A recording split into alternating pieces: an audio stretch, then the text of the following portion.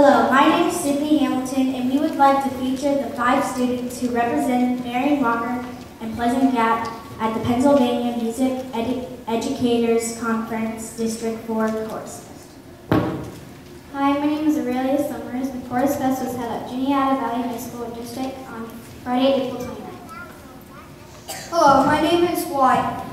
While at Chorus Fest, we sang with our fifth grade, other fifth grade students from seven counties that represented PMEA District 4. Hello, my name is Liberty Pike. During the fest, we practiced under the direction of Dr. Ryan Beacon, a professor from IUP. Later that evening, we had a we had a presenting a concert to the public. Hello, my name is Cecilia Mazzocco.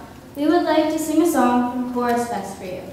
We selected the song Three Quotes from Mark Twain, which is made up of three short songs. We will sing song three called My Dear Mother.